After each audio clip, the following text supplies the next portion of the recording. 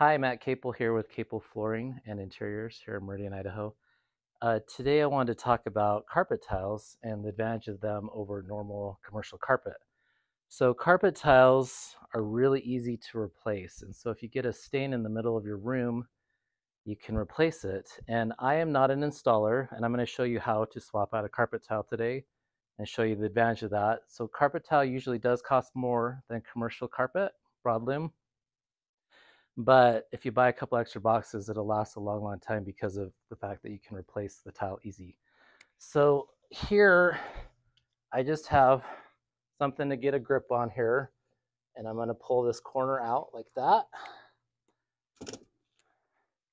And so here we have some pressure sensitive adhesive and a lot of times you can reuse the glue. And the other thing about it too is uh, sometimes you just need to activate it and add a little heat. Um, we're not going to do that today because it's it's tacky enough. But you just get that, place it in place. The edge down.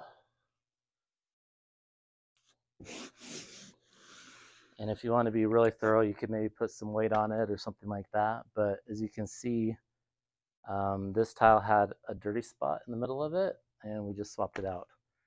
So if you're looking to be in your place for a long, long time, carpet tile is a really good option. Uh, thanks for watching and have a great day.